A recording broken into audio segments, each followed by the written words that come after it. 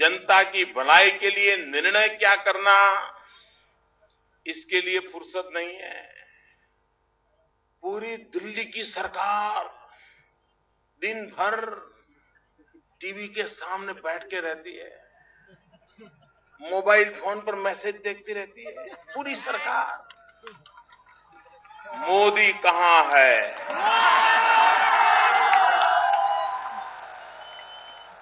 मोदी क्या कर रहा है? मोदी क्या बोल रहा है? हज़ारों लोग, हज़ारों लोगों को रखा है रिसर्च करने के लिए कि मोदी के एक एक शब्द की बाल की खाल उधार लो। फिर 24 घंटे चर्चा चलाओ। मेरे कांग्रेस के मित्र टीवी के पर्दे पर आप मोदी को कितनी ही गाली गलौज कर लीजिए, जनता के दिलों में जो कमल खिला है, उस कमल को कभी आप मुरझा नहीं सकते।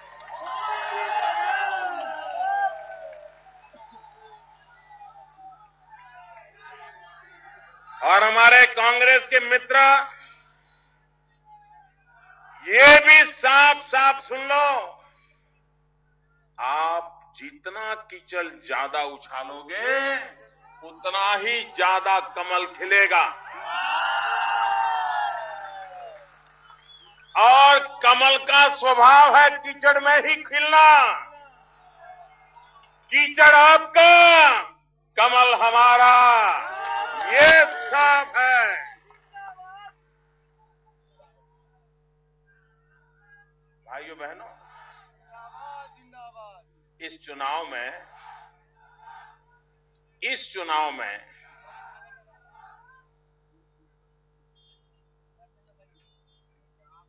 छत्तीसगढ़ सरकार ने क्या काम किया? और दिल्ली सरकार ने छत्तीसगढ़ के लिए क्या काम किया? इसकी चर्चा होनी चाहिए कि नहीं होनी चाहिए? छत्तीसगढ़ की भलाई के लिए इतनी बड़ी दिल्ली सरकार क्या काम कर रही है? ये कहना चाहिए कि नहीं कहना चाहिए? ये दिल्ली वालों को हिसाब देना चाहिए कि नहीं देना चाहिए? देना चाहिए। ये बेखौफ होकर न के नक्सलवाद पशुपति से लेकर के तिरुपति तक फैल रहा है। बम बंदूक और पिस्तौल हिंदुस्तान के निर्दोषों को मार रहा है। इसका जवाब दिल्ली सरकार को देना चाहिए कि नहीं देना चाहिए? देना चाहिए। कांग्रेस ने जवाब देना चाहिए कि नहीं देना चाहिए? देना चाहिए। भाइयों बहनों उन्हें मालूम नहीं है छत्तीसगढ़ में आकर के एग्रीकल्चर की बात करते हैं, किसान की बात करते हैं, उन्हें पता नहीं है।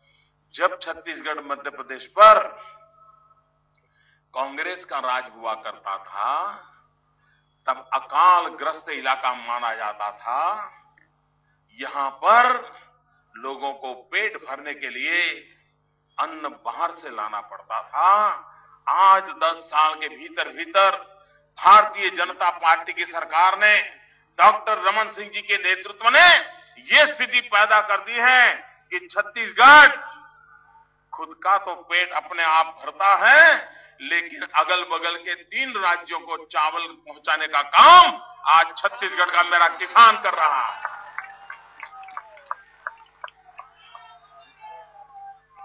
और मैडम सोनिया जी आपको पता है, छत्तीसगढ़ ने जो एग्रीकल्चर में उत्तम काम किया है, उसके लिए आपकी खुद की दिल्ली की सरकार ने उसको अवार्ड दिया है। प्रधानमंत्री ने अवार्ड दिया है। आज कांग्रेस के एक नेता ने कहा, यहाँ छत्तीसगढ़ की सरकार पैसे देकर के अवार्ड लेती है। मैं पूछना चाहता हूँ कि पैसे लेने वाले हैं कौन? ये साफ़ करो भाई। ये पक्का करो, क्या प्रधानमंत्री ने अवार्ड दिया तो पैसा किसने लिया? बाद में देने वाले का देखा जाएगा। पहले लेने वाले का हिसाब छुट्टा करो। क्या बोल रहे हो यार, कुछ समझ है क्या? कुछ तो दिमाग उपयोग करो यार। लेकिन अभी कांग्रेस एक ही काम में लगे, उनको कोई काम नहीं है। या तो मोदी को खोजो, या सोना खोजो।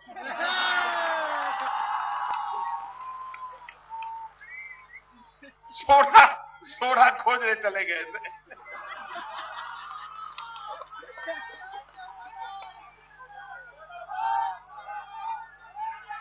अरे भारत की मिट्टी में सोना है, हिंदुस्तान के नौजवान के पसीने में सोना है। दम चाहिए, हिंदुस्तान के नौजवान के पसीने की कीमत समझो। भारत की मिट्टी का मूल्य समझो। ये देश सोने की चिड़िया हुआ करता था, आपने उसको लूट लिया, तबाह कर दिया।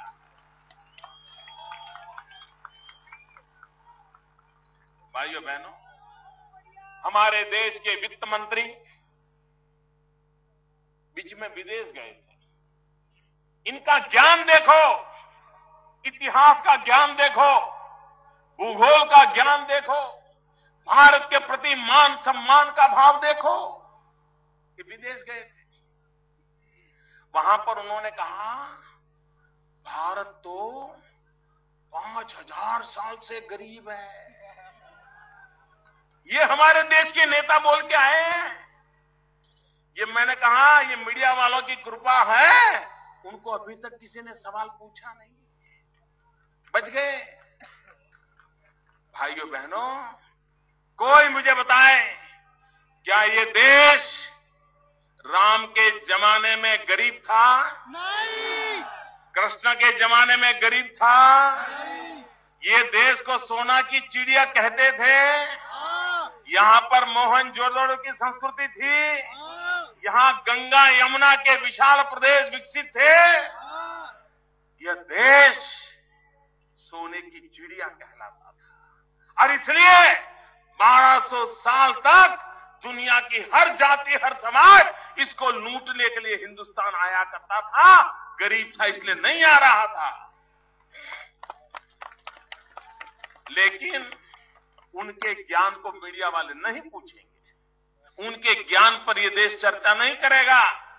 और ऐसे वित्त मंत्री जिन्हें ये पता तक नहीं है कि भारत गरीब था कि समृद्ध था, उनको जवाब नहीं दे रहा। भाइयों, बहनों, आप मुझे कहिए, हिंदुस्तान की सरकार, ये छत्तीसगढ़ में हमें नए नए वादे कर रहे हैं। मुझे बताओ भाई, ये रायगढ़ के लोग सच बोलना। मुझे पसंद ना आए तो भी सच बोलोगे? मोदी को बुरा लगेगा तो भी बोलोगे? सच बोलना है। कोई दिल से भी झूठा नहीं बोलेगा। बोलोगे? मुझे बताओ, आपका मेरा सवाल समझोगे? सब कोई जवाब दोगे? आपका कांग्रेस पर भरोसा है? फिर से एक बार पूछ लेता हूँ कोई गलती ना हो। पार्लियामेंट में वोटिंग कराते हैं ना वोटिंग कराते हैं ना ऐसा अपन पब्लिक में कराते हैं हैं? आपका कांग्रेस पर भरोसा है? उनकी बातों पर भरोसा है? उनके वादों पर भरोसा है? उनके नेता पर भरोसा है? उनकी नीतियों पर भरोसा है? उनकी नीयत पे भरोसा है? आपको ही नहीं पूरे देश को नहीं।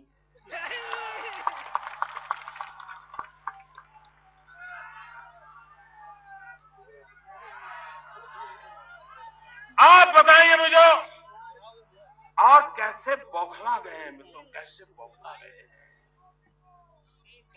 आजकल यूपीए के नेता बयान दे रहे हैं। चाय बेचने वाला। भी नहीं क्या? प्रधानमंत्री नहीं हो सकता है। ये, ये यूपीए के नेता बोल रहे हैं चाय बेचने वाला प्रधानमंत्री नहीं हो सकता है। मैं पूछना चाहता हूँ भाइयों बहनों आप मुझे जवाब दीजिए। मैं कहना चाहता हूँ चाय बेचने वाला प्रधानमंत्री हो या न हो वो तो देश की जनता तय करेगी। लेकिन मैं पूछना चाहता हूँ, देश बेचने वाले प्रधानमंत्री होने चाहिए क्या? देश बेचने वाले देश पर राज करने चाहिए क्या? भाइयों बहनों, देश बेचने वालों से अच्छा होता है, चाय बेचने वाला अच्छा होता है।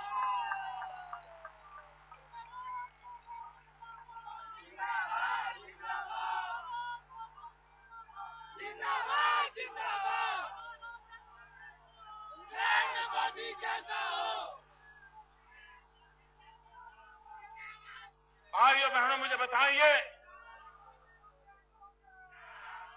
गरीब होना गुनाह है क्या? गरीब माँ बाप के पेट से पैदा होना गुनाह है क्या? मेहनत करके चाय बेच करके पेट भरना गुनाह है क्या? इस देश में ये कौन सी मानसिकता है जो इस प्रकार की भाषा प्रयोग हो? और इसके लिए यूपीए के नेताओं को दुख तक न हो।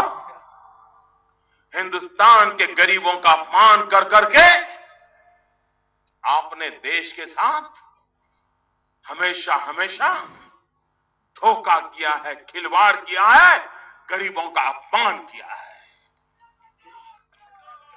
और मेरे यूपीए के नेता सुन लो, इस देश का गरीब गरीबों का अपमान करने वाली इस भाषा का बदला लेके रहेगा।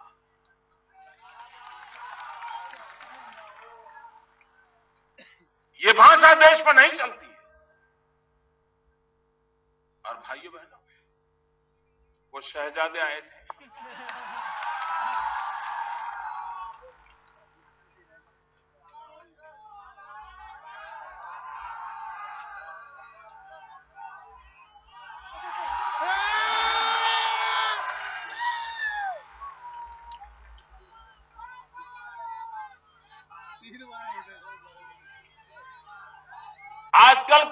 के लोग कहते हैं, शहजादे कहते हैं, मुझे व्यवस्था बदलनी है। भैया, मुझे बताइए, इस देश में 60 साल तक राज किसने किया? मुझे बताइए 60 साल तक इस देश पर राज किसने किया? जरा ज़ोर से बताइए, किसने राज किया? किसने राज किया? हिंदुस्तान में 60 साल तक ये जो व्यवस्थाएँ हैं, ये व्यवस्थाएँ किसने बनाई? ये व्यवस्थाएँ किसने बनाई? ये कौन ढोल पीट रहा है भाई?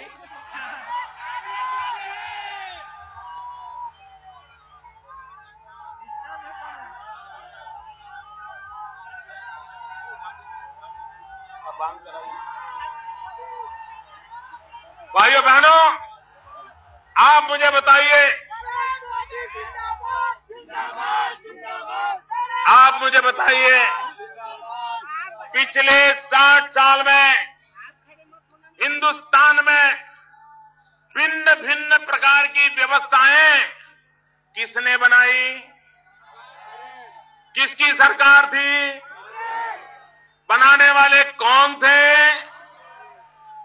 अच्छा। इसको बिगाड़ी किसने बिगाड़ी। आपने बिगाड़ी है क्या? आपको बिगाड़ने का मौका मिला है क्या? आपका बिगाड़ने का इरादा था क्या? तो व्यवस्थाएँ बनाई किसने? जवाब दो दोस्तों, देश सुनता है आपको। मुझे बताइए, व्यवस्थाएँ बनाई किसने? बिगाड़ी किसने? गुनेगार कौन? और बनाने वालों के मुखिया कौन थे? शाहजादे ये व्यवस्था बनाने वाले आपके पूज्य पिताश्री थे। आपकी दादी माँ थी आपके नाना श्री थे। उन्होंने ही, उन्होंने ये व्यवस्थाएँ बनाई और उन्होंने ही इन व्यवस्थाओं को बिगाड़ा। क्यों बिगाड़ा? अपने फ़ायदे के लिए कांग्रेस ने हमेशा हमेशा व्यवस्थाओं को बर्बाद किया, बिगाड़ा, दुरुपयोग किया। और अब उनको पता चला है, अब उनको इन व्यवस्थाओं से गाड़ी नहीं चलेगी। अब कुछ पाना है, लेना है, बनना है तो अब ये पुरानी व्यवस्था काम नहीं आएगी। और इसलिए अब जाने की बारी आई है तो व्यवस्था को हटाने की बात कर रहे हैं।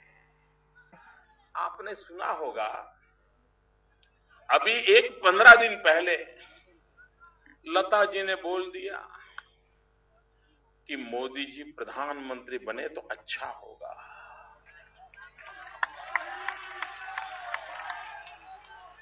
मुझे बताओ भाई, इस देश में लोकतंत्र है कि नहीं है? लोकतंत्र में हरेक को अपनी बात बताने का अधिकार है कि नहीं है? कांग्रेस को बुरा लग गया। कांग्रेस के पेट में चूहे दौड़ने लग गए।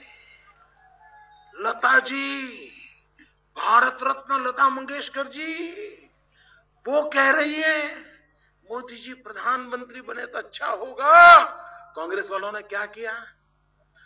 लता मंगेशकर जी का भारत रत्न वापस ले लो। लता मंगेशकर जी को जो सम्मान मिला है वापस ले लो। मुझे बताइए भैया, ये कांग्रेस का व्यवहार लोकतंत्र के अनुकूल है? ये भाषा लोकतंत्र की भाषा है? क्या ये भाषा फांसीवाद की भाषा नहीं है। क्या ये भाषा हिटलर शाही की भाषा नहीं है? क्या ये भाषा लोकतंत्र का गला घोंटने वाली भाषा नहीं है? जो कांग्रेस पार्टी ऐसी भाषा बोले क्या उस कांग्रेस पार्टी को लोकतंत्र के नाम पर वोट मांगने का अधिकार है? भाइयों बहनों ये कांग्रेस पार्टी को सदा सर्वदा के लिए मिटा दो।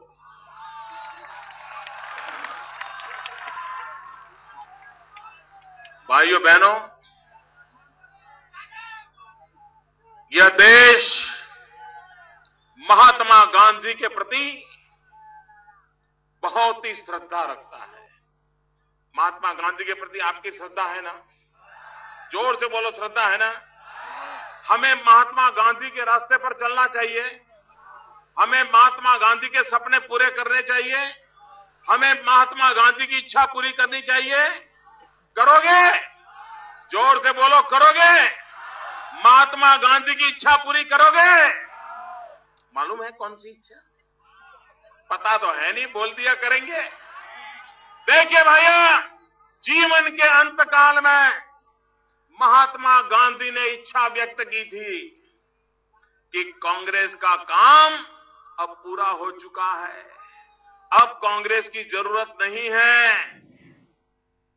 कांग्रेस की भाषा हिटलर शाही जैसी है। कांग्रेस की भाषा लोकतंत्र के खिलाफ है, ये कहना है नरेंद्र मोदी का।